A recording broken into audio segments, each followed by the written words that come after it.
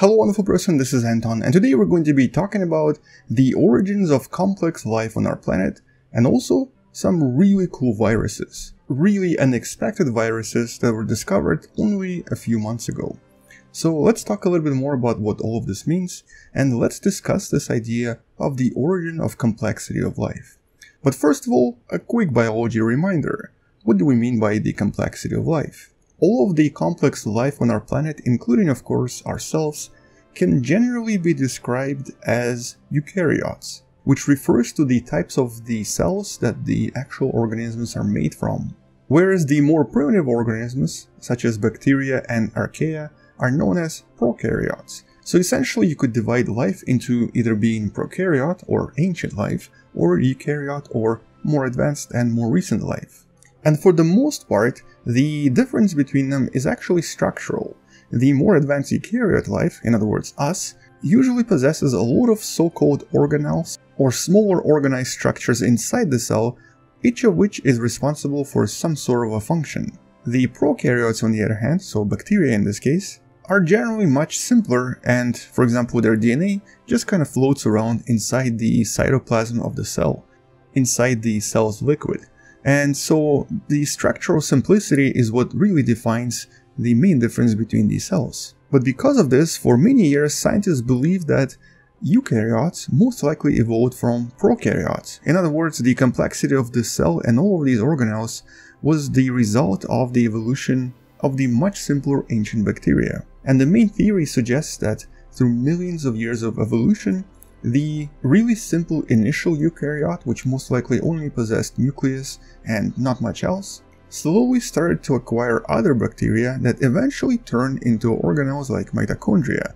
So in other words, every little part inside the typical eukaryotic cell is a small bacteria that evolved to be part of the cell itself. Now there's not a lot of proof of this and there's actually not a lot of evidence to suggest this, but we have discovered simpler bacteria that do actually possess very similar features and very similar functions to typical organelles inside our cells. But that's not really what we're talking about in this video, because that's not really a new discovery. If you look at this image again, and if you scroll all the way to the top here, you'll discover that even the initial cell here already seems to possess nucleus. But we know that none of the ancient bacteria, none of the archaea or any other bacteria we have today have nuclei. They don't have this large organelle inside of the cell specifically for the storage of DNA. Only our cells have this. Only the more advanced life on the planet has these structures. But how these structures came to be and what created them has always really been a mystery. Actually, up until I think 2019, this was a really really big mystery that nobody could answer. But we started to discover a few hints here and there. And a lot of these hints came from things that we kind of didn't expect to be the answer. Viruses. In the last few years, we've discovered a lot of really amazing viruses. And here the word amazing kind of doesn't do them justice. Like for example, about 10 years ago, we've discovered this unusual virus, very large virus, known as giant virus. And the giant virus is essentially almost a bacteria, in a sense that it can produce approximately 400 different proteins, way more than any other virus, and only a little bit less than a typical bacteria. Also, only a few months ago, in 2020, the scientists in Brazil discovered Yara virus, the virus that seems to contain genes that are exceptionally different from anything else on the planet, as if it came from some other planet. It's a strange virus, it seems to make no sense, but that's sort of also the opposite of what we're going to be talking about, but this is just to give you an idea that we've been discovering a lot of incredible viruses, and a lot of them seem to connect to life as we know it. As a matter of fact, one of the previous videos that you can find somewhere above my head talks about how viruses were absolutely crucial to the evolution of life on the planet. For example, viruses, or the so-called endogenous retroviruses, are crucial for the development of human fetuses during pregnancy. So this is something that we only have been discovering in the last few years. But turns out that viruses seem to have even more importance than what we were giving them credit for.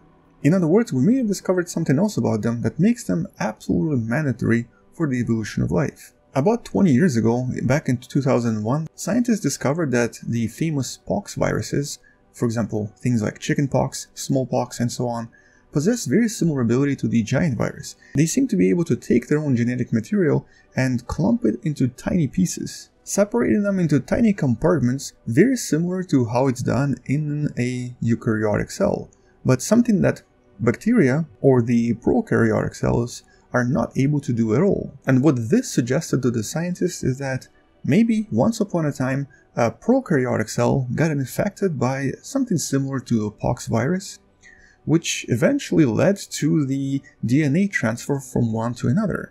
Essentially, they kind of exchange genes, one acquiring the other's genes. And eventually, the prokaryotic cells may have acquired these genes responsible for creating the nucleus. But this wasn't really enough proof just yet. There were still a lot of things missing and a lot of things misunderstood. And that's until the recent discovery from the Japanese scientists that found yet another very unusual virus they refer to as the Medusa virus. For one simple reason. Apparently this virus, when infecting its hosts, which in this case are the very common amoeba, which are very simple eukaryotic cells, then turns them hard on the outside.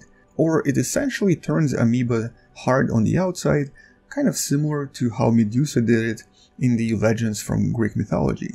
And what they discovered inside the Medusa virus is that it's able to produce what's known as histones, an extremely important protein inside of a nucleus of a typical uh, eukaryotic cell, whose only purpose is to take DNA and then kind of fold it very accurately into tinier and tinier pieces until it becomes a chromosome. In other words, histones are responsible for turning DNA strands into the shapes we're familiar with. Both the X and the Y chromosomes in humans are packed using these histones that we've always believed to be present only in eukaryotes but at the same time we never had any idea where they came from. And what this study discovered and what it implies is that it all came from viruses. Very old viruses that infected ancient cells, exchanging DNA with them, and eventually leading to the creation of the nucleus that we know in cells today.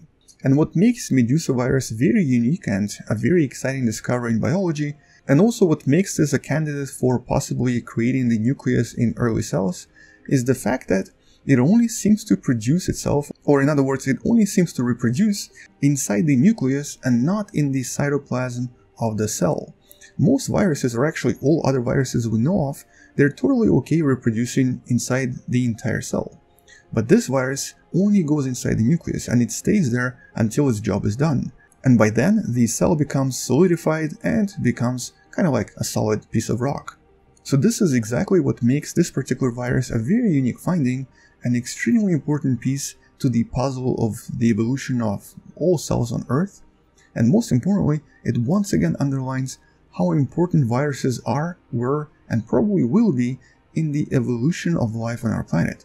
It seems that pretty much all of the cells and all of the life on the planet depends on this kind of a very strange symbiotic relationship where one of the objects needs to die for other objects to acquire something better. So in other words, it's a strange relationship that we're still trying to understand and we've only been learning about it in the last few years or so.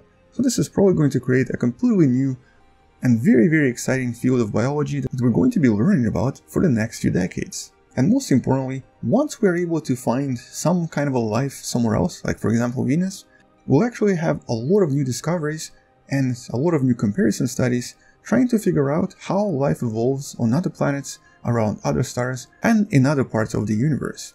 But I guess until we make more discoveries in regards to viruses or other really cool biological discoveries, that's all I wanted to mention in the video. The paper, as always, is in the description below, and it's a pretty exciting paper to read, so do check it out, and it's actually free, you don't have to pay for anything. And when we discover something else, I'll make sure to follow this up with another exciting video. On that note, I'll see you tomorrow, come back tomorrow to learn something else, maybe subscribe, maybe share this video with someone who loves learning about space and sciences, and maybe support this channel on Patreon or by buying the Wonderful Person t-shirt, because it does help me quite a lot. Either way, I'll see you tomorrow, space out, and as always, bye bye.